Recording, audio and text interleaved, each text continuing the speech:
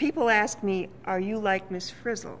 And as you can see, I don't dress like Miss Frizzle, um, and I don't have hair like Miss Frizzle, but one, in one way, we are alike. We both like to explain things. And uh, so if you're with me, you're going to learn a lot of stuff that you may not even want to know about.